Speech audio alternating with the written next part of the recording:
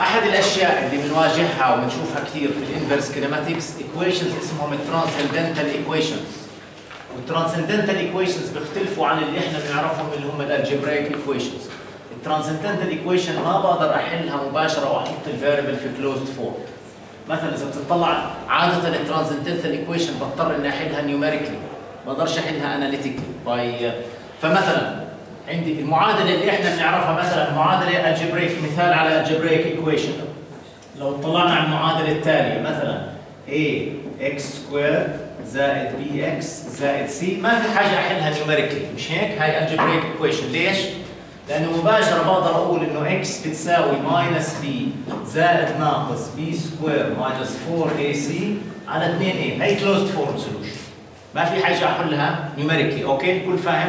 المعادلة اللي بقدر اعبر عن ال variable اللي عمالي بفتش عليه في closed form هذا بنسميه closed form يعني analytically أنا حليتها وطلعت الجواب تبعها فبقدر أحل مباشرة المعادلة بنسميها algebraic equation لكن equation زي A cosine theta في معادلات ثانية طبعا كثيره بس أنا أخذت هذا المثال. A cosine theta زائد B sine theta تساوي C transcendental equation بدي أضطر أحلها numerically أو بدي أحولها من transcendental equation ل ما في طريقة هون مباشرة. أحط ثيتا واضح الكل فاهم؟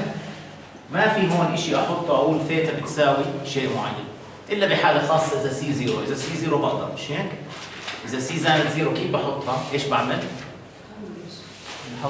بطلعها ل tan. بطلع tan الزاوية. مش هيك؟ بقدر أقول tan theta بيساوي بالحالة هاي راح يكون tan theta بيساوي اظن minus A على B فال theta بتساوي arc tan بس اذا C zero هاي ما بقدر احلها مباشرة.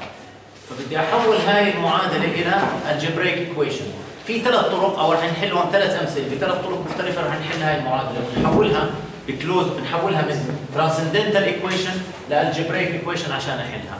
ليش هذا عم نذكره إحنا في في, في سياق ال inverse kinematics لأنه عادة لما بنحل بال inverse kinematics رح يطلع معي transcendental equations بدي أضطر أعمل طريقة معينة حتى أحولهم ل algebraic equations وأحلهم وأطلع الجواب. okay؟